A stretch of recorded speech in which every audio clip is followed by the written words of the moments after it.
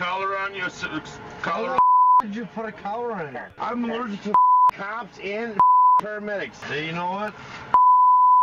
You go ahead and put that on your on your door. Jump up.